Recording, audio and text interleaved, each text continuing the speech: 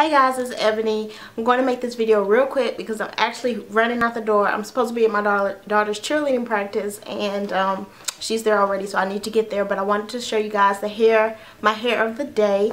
And um, I was actually inspired by a recent video that Miss ShoBella put on her channel where she had this beautiful curly wig.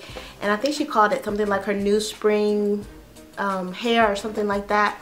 And it was so cute and it, it inspired me to want to do like a curly style myself. So I actually made this wig last night. And let me show you um, the hair that I actually used to make this wig. Give me just a second. Alright, so this is the hair. Okay, this is the hair. This is the hair, a closer view of the hair.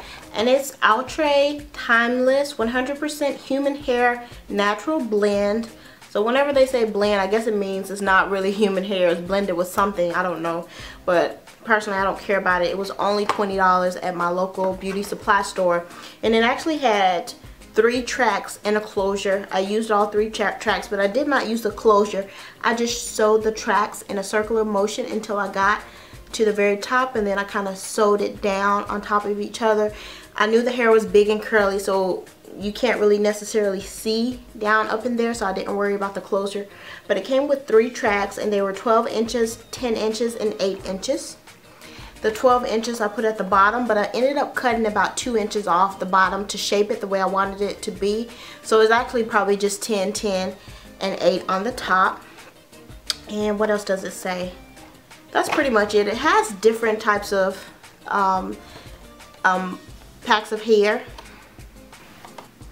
so that's pretty much it as far as the box is concerned.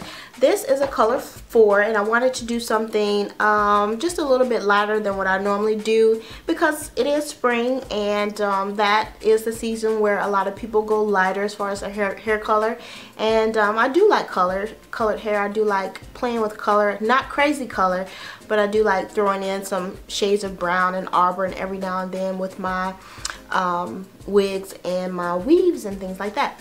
So this is the hair and I love it. I actually sewed the wig so that it would have a full bang in the front.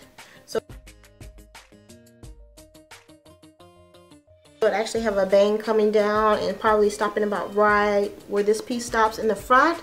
But I didn't like the way that looked. I kind of felt like a mop. So I kind of took a little bit and I pinned it off to the side and I like the way this looks a lot better. And then I took a little bit of um, control paste, you know, that control paste that they have.